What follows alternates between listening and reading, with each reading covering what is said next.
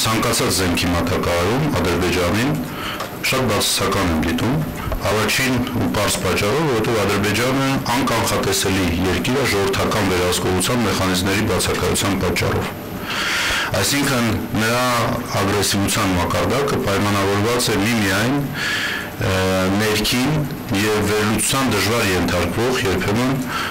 խնդիրների համադրմամբ եւ այդ առումով լինի դա ռուսական զենք, իսրայելական զենք, թուրքական զենք,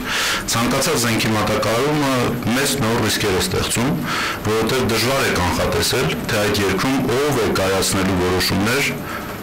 ցանկացած պահին, այդ թվում առաջկա ապագայում մենք Ռուսաստանի հետ ունենք փոխգործակցության մեր ծրագիրը, դա ռազմավարական գործընկերության դաշնակցային հարաբերություններով պայմանավորված ռազմատեխնիկական, ռազմաքաղաքական փոխգործակցության ծրագիրը մենք բավարարված ենք դրանով, թե ինչպես է այդ ծրագիրը իրականացվում։ Դա շատ հավակնոտ ծրագիր է, որը մենք բարբերաբար ընդլայնում ենք եւ պետք է ասեմ, որ մեր խնդիրները, որոնք մենք բարձրացնում ենք այդ երկխոսության մեջ,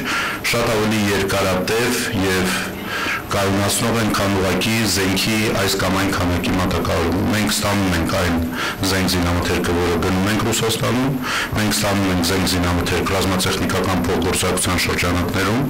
այն ինչ որ մենք գնում ենք, մենք գնում ենք դաշնակցային սկզբունքով ներքին գներով Ռուսաստանի, եւ դա մեր համար շատ կարեւոր շուկա է զենքի ձեռքբերման, նաեւ զենք ձեռքբերելու փոխգործակցության ծրագրերով։ Եթե որևէ պաշտոնյա Հայաստանում դες երբևէ ասի, որ շատ ողջավորված են նրանց որ ռուսական զենք է հայտնվել